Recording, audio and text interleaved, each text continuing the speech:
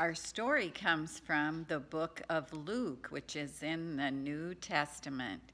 It's Luke 2, verse 41. Jesus lived with his parents in Nazareth. When he was 12 years old, his parents took Jesus to Jerusalem for a celebration called the Passover. Every year, the Jews celebrated the Passover to remember the time that Moses led them out of Egypt. After the celebration in Jerusalem, Mary and Joseph left the city to go back home. They thought that Jesus was walking with his friends and other people to get back to their home. But when they looked for him when they got back, Jesus wasn't there.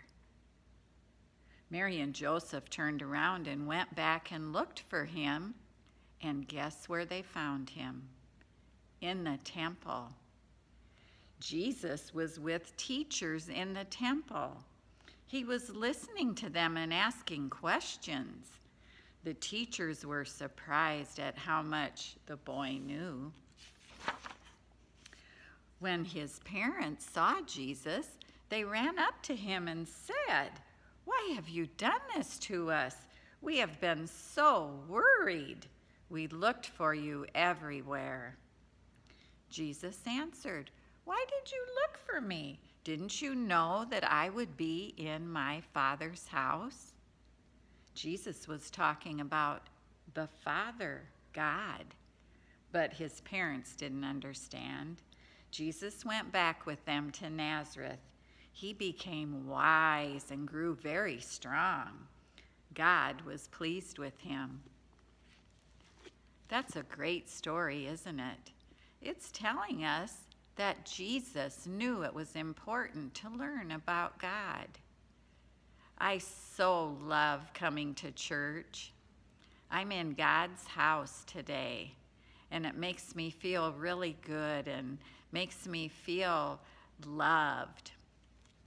Let's sing a song about being in God's house. We are in God's house today. He is glad to hear us pray. Let us listen, let us sing, gladly hear his praises ring. I'm glad you could join me today in God's house. Let's all fold our hands and bow our heads. Dear Jesus, thank you for your word, the Bible. Thank you that we can still learn about you even though we're doing it on the internet. We will be so glad when we can come back to your house and to Sunday school with all our friends. Keep us safe and healthy. In your holy name we pray. Amen.